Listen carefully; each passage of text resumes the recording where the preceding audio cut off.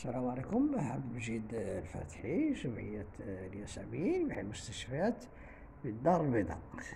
أه زيد معكم الحديث في هذه المسألة اللي قلنا شراء النقاط. ملي كيدير الإنسان هذه العملية ما تنساوش بأن راه داك داك الفلوس اللي مثلا حطوا في السيمار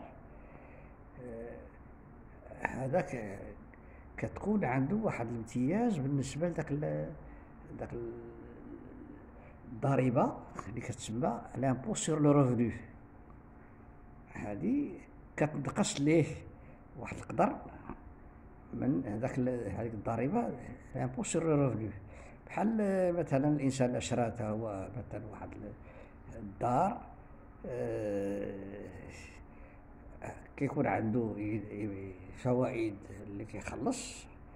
هذيك الفوائد راه هي كت القانون كيقول كتنقص هي من ديك الضريبة ديال l'impôt sur le revenu وهذه مسائل مهمة. يقدر الإنسان راه مثلا عندك واحد 300 درهم مثلا ديال الفوائد شهريا راه كتزيد كتنقص لك من ديك l'impôt sur le revenu هذه راه مسألة مهمة للإنسان خصو يعرفها. وشكرا.